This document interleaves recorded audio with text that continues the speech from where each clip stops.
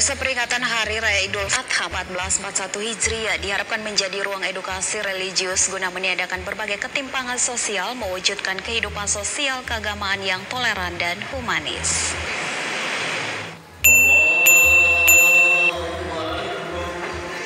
Peringatan Hari Raya Idul Adha 1441 Hijriah diharapkan dapat dimaknai sebagai landasan edukasi religius bagi seluruh umat muslim di kota Sorong.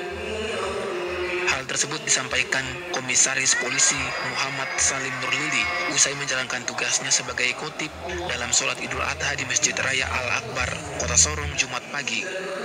Menurut perwira Polres Sorong Kota yang keseriannya menjabat sebagai Kapolsek Sorong Kota tersebut, momentum religius peringatan Idul Adha diharapkan dapat menjadi ruang pembelajaran sekaligus pembentukan jati diri, meniadakan berbagai ketimpangan sosial guna mewujudkan kehidupan sosial keagamaan di Kota Sorong yang toleran dan humanis. Mengembalikan jati diri seorang muslim dengan pegang pada ajaran Islam, insya Allah dia akan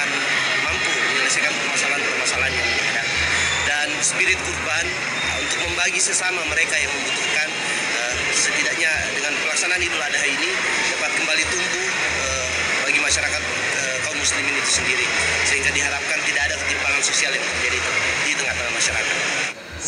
Anggerini Sumbung, JWM Channel.